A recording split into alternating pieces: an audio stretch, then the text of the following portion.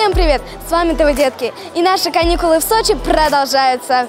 Сегодня на форуме Леонида Агутина, пожалуй, самое душевное мероприятие, которое тронет всех наших зрителей и, конечно же, участников. Безусловно, уже не первый год изюминкой форума является вечер мелодикламации. Музыканты талантливые дети читают стихотворения под прекрасную музыку. Здесь, в итальянском дворике на Красной Поляне, царит семейная музыкально-поэтическая атмосфера.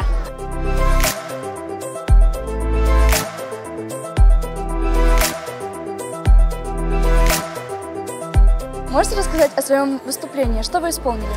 А, Я исполнил а, песню Рэя Чарльза, называется она «Say No More».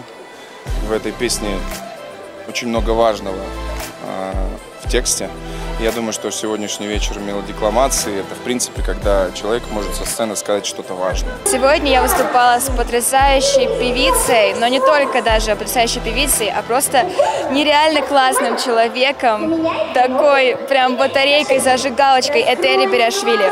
Недавно мы выпустили трек, а, который называется «Счастье». А, Его презентовали, у нас вышел клип. И вот сегодня мы исполнили а, уже его второй раз на форуме Леонида Агутина. Вы сегодня вели такой вечер мелодикламации. Э, Расскажите свои эмоции. Я в восторге вообще. Э, Ты слушаешь, э, как дети рассказывают тексты, у тебя мурашки, настоящие эмоции. И самое главное, чем глубже ребенок, тем глубже ты ощущаешь то, что он говорит. Расскажите, как вы выбирали участников? Это, наверное, самый сложный процесс и момент. Уже второй год я участвую э, в членах жюри конкурса на мелодикламацию. И в этом году в два раза больше участников. Это было очень сложно. Такое внимание к музыкально-поэтической миниатюре неспроста. Как прием мелодикламации существовало в оперном искусстве еще в 18 веке. И уже после все вылилось в самостоятельный концертный жанр. Текста балладного плана, то есть классика жанра. все понять, да и проститься. Две однажды окольцованные птицы. Удивительно, но это приговор мой. Я скажу, но ты не знаешь, что ответить. Мы с тобой словно маленькие дети. Как вы думаете, почему такой жанр, как мелодикламация, уже второй год настолько популярен на форуме?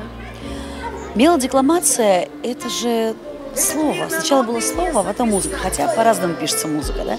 Песня состоит из слов и музыки. Аккордов, аранжировки, инструментов и так далее. Но э, очень важно, и мы всегда оцениваем, как человек доносит слово, которое он исполняет.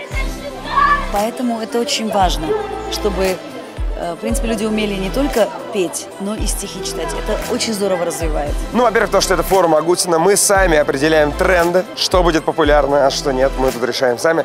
А во-вторых, я думаю, что именно здесь дети не боятся быть услышанными, потому что здесь их слышат. Я очень рада, что на форуме подняли такой жанр, давно на самом деле забытый и нигде практически не используется, кроме как в актерской среде. А, мелодикламация. Это очень здорово. В годы, когда я училась в институте, мы сдавали по сценической речи экзамен, и мелодикламация это был как бы вот тот самый экзамен. Мы должны были читать произведение, а, причем прозу, и подкладывать по- под это произведение музыку еще. Мы действительно а, сомневались в этом жанре, но ведь любому вокалисту а, стихи очень важны. И прежде всего, прежде всего, наши педагоги, вокалисты учат а, тому, что сначала мы работаем с текстом, а уже потом с музыкой. Как вы думаете, почему жанр мело- мелодикламации уже второй год так успешен на форуме? Наверное, из-за того, что это очень слишком связано э, с импровизацией, связано с Леонидом Агутиным и с тем творчеством, которое мы пытаемся воплотить на нашем форуме. Хочется, чтобы это было легко, э, доступно и понятно для всех э, возрастов, для всех э, участников нашего фестиваля. А кто вам сказал, что он не популярный? Вы же сами видите, какой успех. Он очень популярный. И слава богу, что это происходит именно на нашем форуме. Я думаю, что дело в искренности. Каждый, кто выходит на сцену и каждый, кто находится в зале, испытывает это чувство по отношению друг к другу. Все по-честному, откровенно общаются через стихи или наоборот через аплодисменты. Я думаю, в этом а, главный успех, что просто все находятся в состоянии честности. Леонид Николаевич абсолютно заслуженный гений рифма, признанный поэт и талантливый музыкант. Свои мысли он часто рифмует в красивые поэтические произведения. Он автор нескольких поэтических сборников. Интересно, что именно его стихи выбирали выступления знаменитые актеры? Константин Хабенский, Сергей Безруков, Гоша Куценко, Михаил Пореченков и многие другие. Любопытно, выбрал ли сегодня кто-то его произведения из выступающих?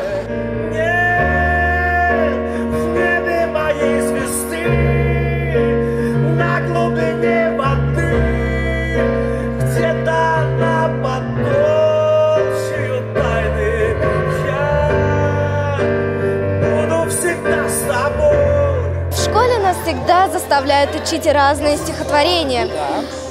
А в вашем детстве какое было у вас самое любимое по школьной программе? Честно, я в основном по песням была. А какое нелюбимое? Может быть, было? Нелюбимого? Нет, нелюбимых не было. Я любила все, на самом деле, стихотворения. А поскольку я учила три языка, то, в принципе, на всех трех языках мне, мне нравились стихотворения и на английском, на украинском, и на русском. Не спрашивай, потому что я ненавидела поэзию. Ненавидела, потому что она приходилось зубрить, а зубрить я ненавижу. Я математику, геометрию, тригонометрию любила очень сильно. Какого-то э, одного стиха у меня нет любимого, но я действительно э, очень трогательно отношусь к любой поэзии. В школе часто задают какие-нибудь стихотворения. Вот какое твое любимое стихотворение из школы?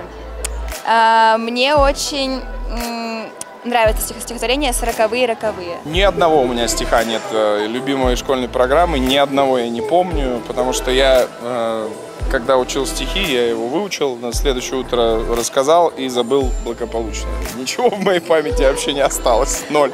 Я помню чудное мгновение. Передо мной явилась ты. Ну и так далее. А какое нелюбимое?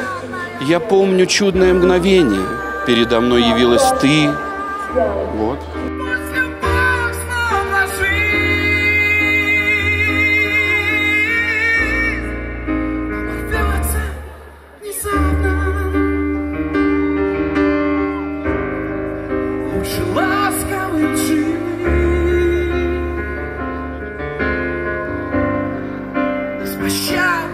А Леонид Николаевич не раз говорил, что одна из самых главных миссий форума – это образование и культура будущих артистов.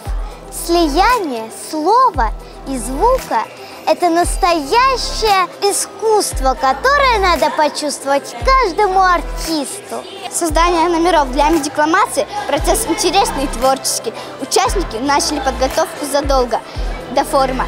И лучших организаторы пригласили выступить вместе с Леонидом Агутиным.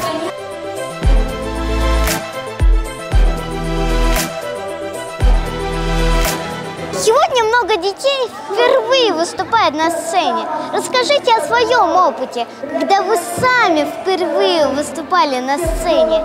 Ну, во-первых, мне было страшно. Это во-первых. А во-вторых, волнительно безумно, но это такое большое счастье, что ради этого удовольствия стоит все это, ну, трудиться, учиться, ошибаться.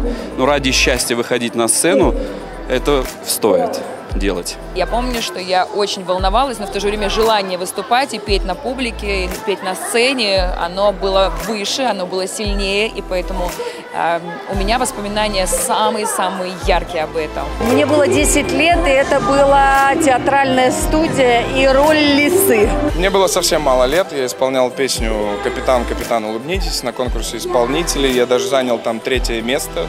Вот. э, Этот текст песни, кстати, не забуду никогда, почему-то вот максимально хорошо отложилось это в памяти. Мы сейчас с ребятами э, сочиняем стихотворение. Вы можете дополнить, пожалуйста, строчку? Сегодня царит любовь и доброта.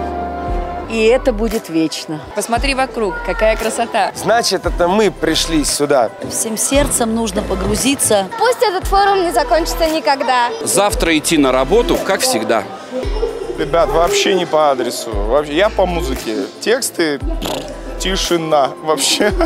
Волшебство слов и магия нот, а закончить хочется строчками из стихотворения Леонида Агутина. Циклично все на этом свете. Вперед-назад, все тот же путь. Все те же маленькие дети. Все так же не хотим уснуть. С вами были Тева Детки. Как всегда, все самое актуальное на нашем YouTube-канале. Подписывайтесь и ставьте лайки. Пока-пока!